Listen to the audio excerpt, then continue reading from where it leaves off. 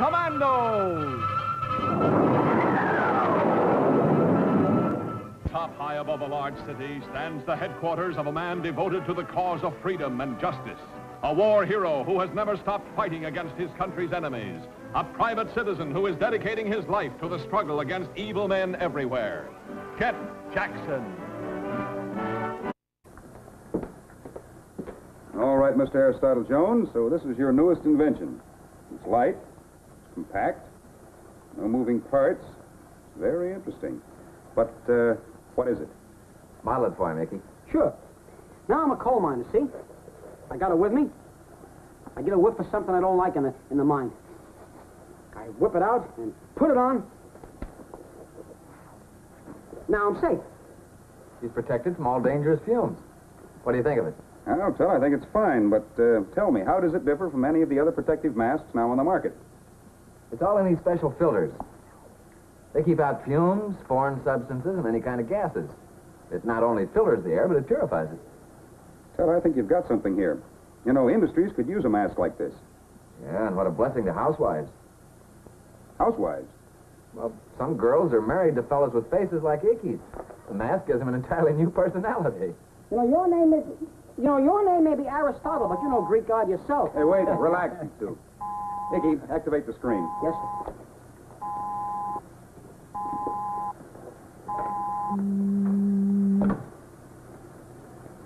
Hello, Dr. Hamilton. How are things at CSSRL? Busy as usual. I wouldn't interrupt your busy schedule if it weren't a matter of extreme urgency. Can you come to my office right away? Why, yes, of course. What's the trouble? Well, I'll explain when you get here, but please hurry. I'll be there in an hour, sir. Quicker if you can make it, hmm? Goodbye. Who was that? That was Dr. Hamilton, Chief of Combined Services Secret Research Laboratory. He seemed upset. Yes, it must be something big. Icky. Right. Step on it.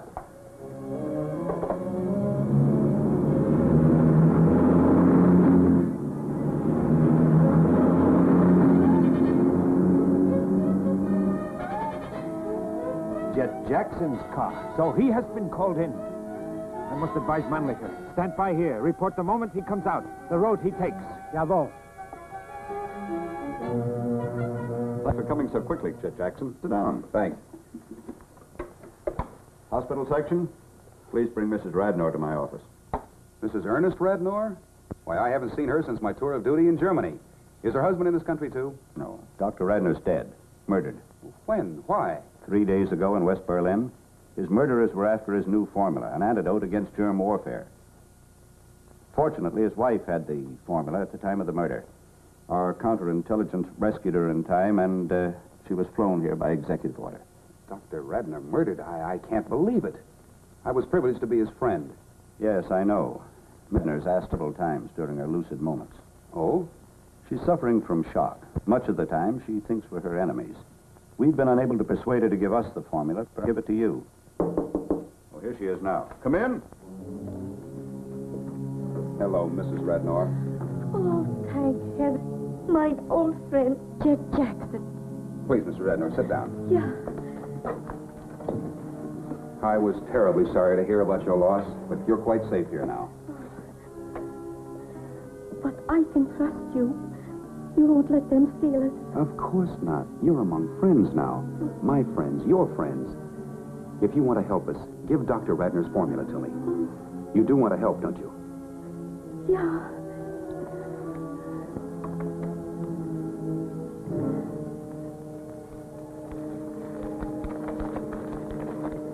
But it's not all here. This is only part of the formula. Yeah, I know. It was torn in the struggle. You must complete it. If enemies of America want to start germ warfare, Radnor formula will save the free world. Excitement's been too much for her. Take her back to her.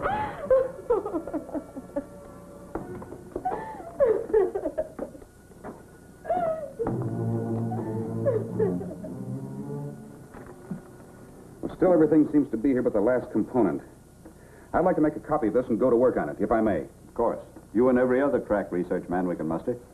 This will have top priority here in the laboratory. We've got to complete that formula, test it, and get it ready for mass production. Mass production? You mean there's some danger of a mass germ warfare attack? Intelligence suspects that six containers of a new and deadly virus were smuggled aboard the liner Teutonic at Hamburg just before she sailed. Even now, as she nears our coast, our agents are combing that ship from stem to stern. If they fail to find those six containers, Only Dr. Radnor's formula can save us. right. It's unbelievable. A mass germ warfare attack in time of peace. Possibly a test in secret. Yes? Progress report on Operation Seaward, sir. Go ahead. Teutonic 19 miles off Pilgrim Point, proceeding toward Boston Harbor at half speed. Result of search still negative. I'd better get back to headquarters and go right to work on this. Good luck. Thank you, sir. Good luck to you at sea.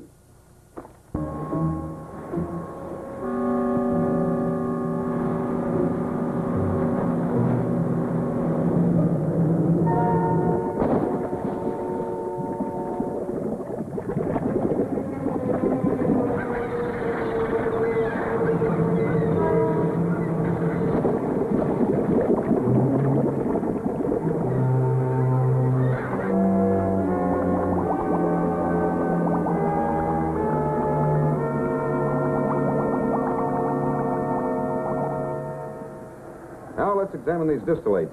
Hand me a glass slide.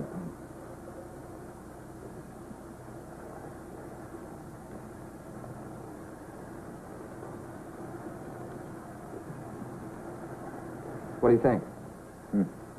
Have a look. Hmm. Non-toxic, all right. Seems to be a perfect catalyst. And it follows logically from where Radnor's formula left off. Now all we have to do is test it. They have a strain of the virus at CSSRL. Just a moment, sir. Dr. Hamilton from the secret laboratory wants to speak to you. Be right there.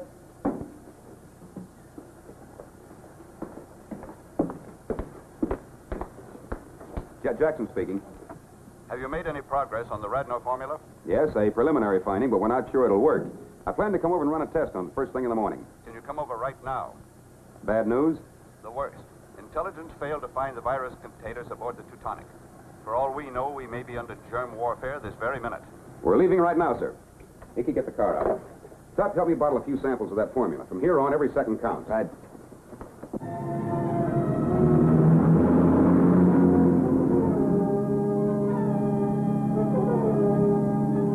Look, there's been an accident. But we can't stop now. Well, we can't leave that man lying in the street.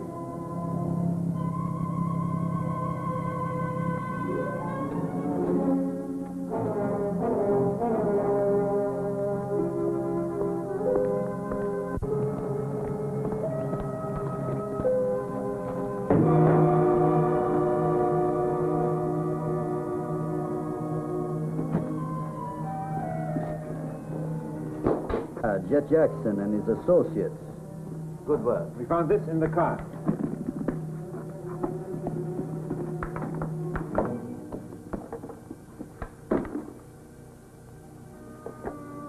This must be the Radnor formula.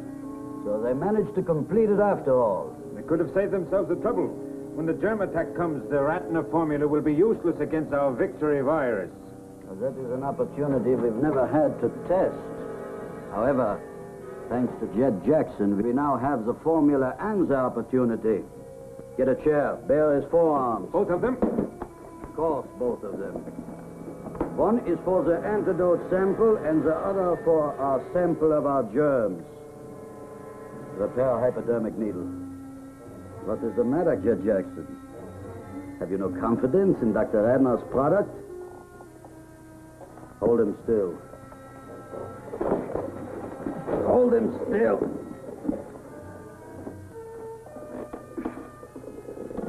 You should feel quite safe now. Dr. Radnor believed that his formula would immunize a patient within minutes after the injection. Another hypodermic, if you please. Previous tests have proved that these germs are fatal within minutes after injection. Hold him still. As a man of your physique, Jet Jackson, it might take perhaps half an hour.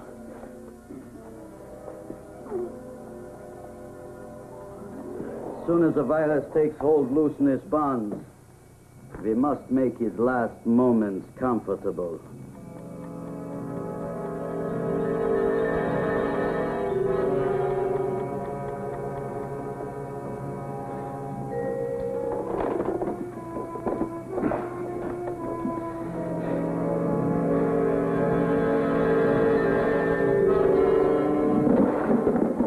You.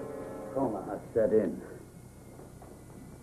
Pictures the effects that 10 million times this dose will have when we release it on the sleeping city.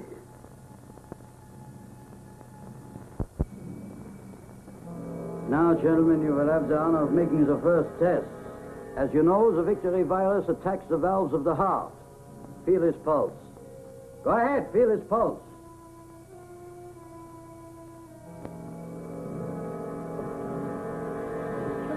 Oh, you killed him, you dirty rat. Hold it. They've done it. He's dead. I don't believe it. The pulse test isn't always conclusive. Always a skeptical scientist.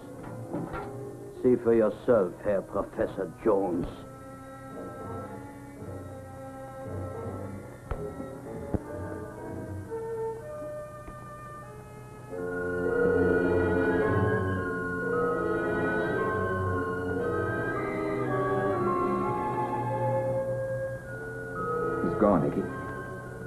The antidote failed. Of course, the antidote failed. The last barrier's down. This germ attack will conquer the world. Our government will be delighted to learn that its first American victim was Jet Jackson.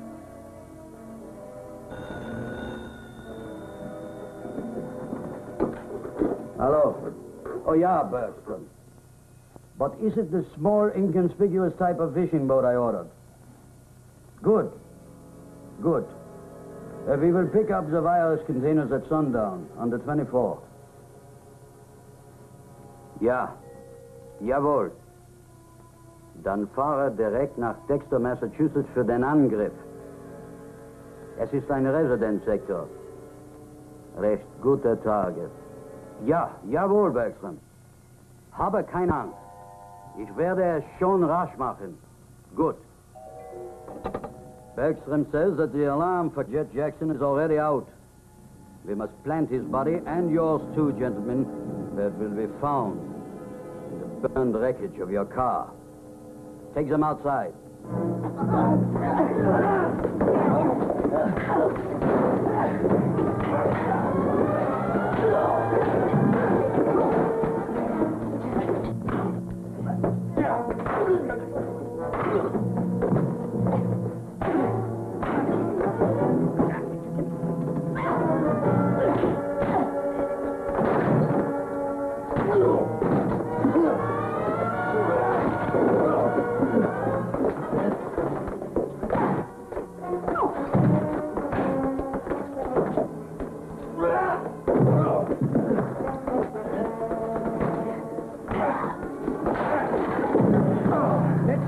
Hey.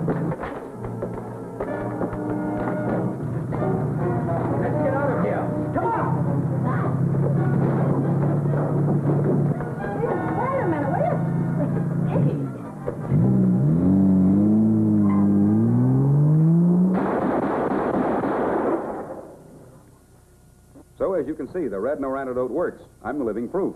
But how did you manage to simulate death so convincingly? Yeah, how did you stop your pulse? You weren't dead, but me. I was dying. That's an old trick, Icky. I worked my wallet up under my arm and then pressed hard. That stops the flow of blood to the wrist, so the pulse beat can't be felt. Sorry if I gave you a scare. I tumbled to it when I listened to your heart beating under the stethoscope.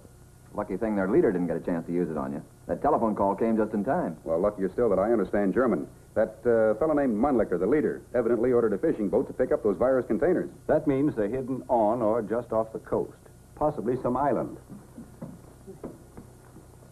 Now, we can be fairly sure that the containers are hidden somewhere in that area Why do you say that? because they expect to pick up the virus by sundown on the 24th and reach Dexter for the attack that same night. But how can we possibly produce enough of the antidote to immunize a city of 200,000 in three days? Maybe we should recommend a mass evacuation of Dexter. They'd only change the target town. What do you suggest? to have the Civil Defense Command order every pharmaceutical house into emergency production of the Radnor formula, to supply Dexter with as much of it as possible, in case we fail to find that fishing boat by sundown on the 24th. Get me the direct line to Washington. Come on, Icky. We're going for a flight in the Silver Dart.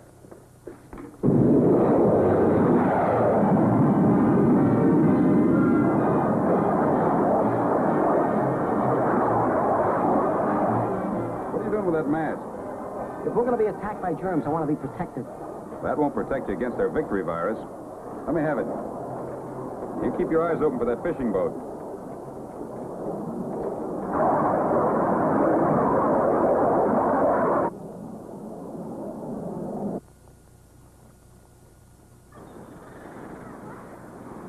Hey, what are all those seagulls doing around that boat?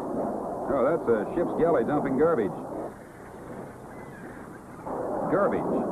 That may be it. What may be what? Silver Dart to CSSRL. Emergency. Silver Dart to CSSRL. Over.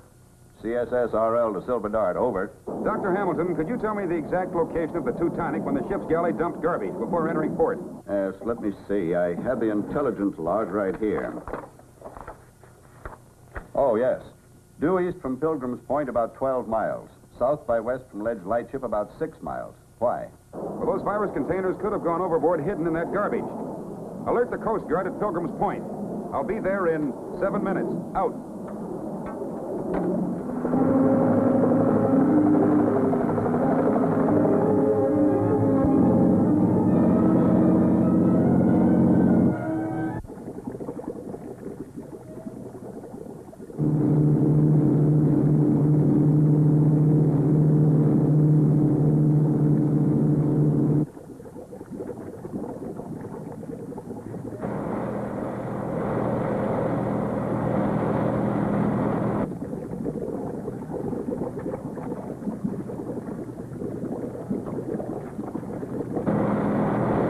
Much farther? Half a mile, about three minutes now.